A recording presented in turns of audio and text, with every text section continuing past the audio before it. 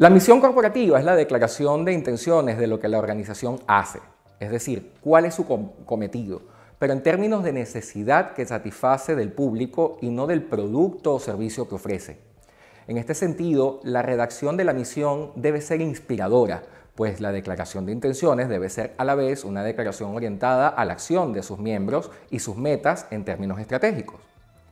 La misión de IKEA, por ejemplo, no es hacer mobiliario de calidad, portable y a buen precio, aunque realmente este sea su plan de negocio. En este caso, su misión, o la misión de IKEA, es mejorar la vida cotidiana, como una declaración de principios que englobará a posteriori su plan de negocios, permitiendo a la vez un abanico de productos y servicios e incluso valores latentes o emergentes que puedan aparecer a futuro con la dinámica empresarial.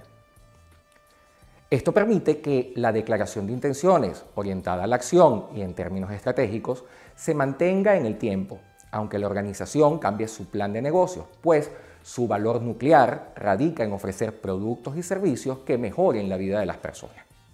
Aunque el día a día, el día de mañana, puede que estos no sean mobiliarios, sino material de oficina o también se incluya la fabricación de vehículos dentro de su plan de negocios. En este orden de ideas, la misión debe ser integradora y el epicentro de la filosofía de la organización. Otro ejemplo interesante es Tesla, una empresa que inicia sus operaciones en 2003, cuyo objetivo inicial era la fabricación de vehículos propulsados por energías renovables. Aunque en los últimos años también producen baterías domésticas para las casas, para el almacenamiento de energía y paneles solares para producir energía limpia y escalable, su misión actual es acelerar la transición del mundo hacia la energía sostenible. Así, la misión, además de ser un statement amplio de su sector, debe fijar las bases del pensamiento organizacional. Lo definirá también, por, ejemplo, sus líneas de negocio futuras y su investigación, su innovación, su creatividad, etc. La misión debe estar redactada como una declaración de principio, orientada a la acción.